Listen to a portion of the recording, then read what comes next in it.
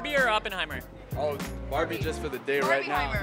We're going to both. We're dressed the part too. Yeah, we have to go home, change, come back, watch Oppenheimer. Barbie or Oppenheimer? Oh my god, we just watched Oppenheimer. Oppenheimer was crazy. Barbie. Barbie was a party for sure. Oppenheimer. all Why? the way. Historically, for us Americans, that's a very huge ach- achievement. Barbie or Oppenheimer? Ken. And today we have our own double feature of CBC News senior entertainment reporter Eli Glasner and senior entertainment writer Jackson Weaver with their thoughts on Barbenheimer. Now, Jackson, obviously there is a lot of excitement. It's not often that these, you know, two big films get released and hyped like this on the same day. I have seen marketing for all both of these movies absolutely everywhere. This must be a marketer's dream.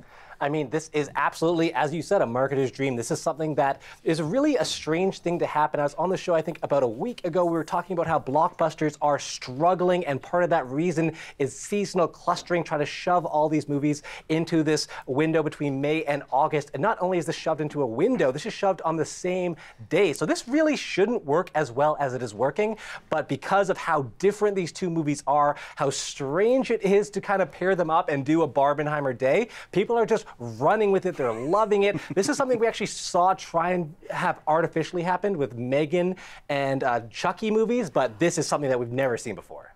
Uh, yeah, Eli, on this scale, how does it compare to past campaigns and various summer blockbusters? It's it's double of any other campaign. I mean, the best you can hope for is the audience chomping at the bit to see one film, but the fact that you have people, we know there are people buying tickets for both and trying to do that double feature. And the amazing thing is, remember, this is a competition. This is Warner Brothers versus Universal. And so these studios are not working together, but the irony is by competing against each other, I think in a way they very much helped each other because, as Jackson said, it's such a delicious contrast, those two opposite ends of the cinematic spectrum, and now those theaters are full again.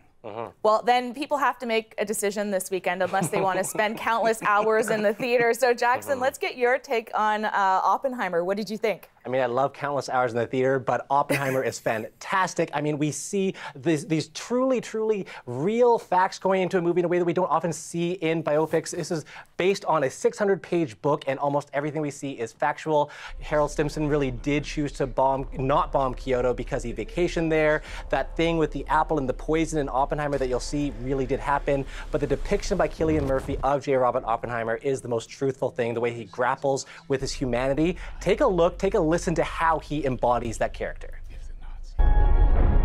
Theory will take you only so far.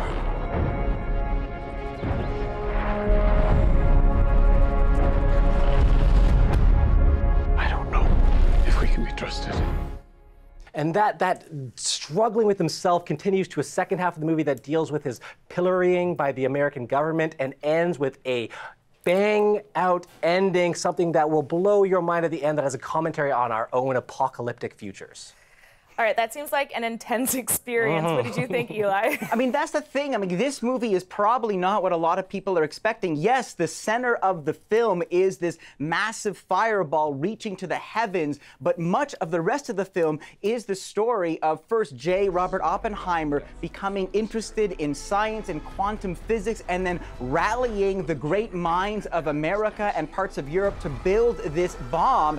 And then it's it's like project management and the man trying to marshal the scientists isn't just Oppenheimer, also Matt Damon as the general, who, much like you know Cillian Murphy, has an amazing performance, but a very different kind of character. Let's take a look.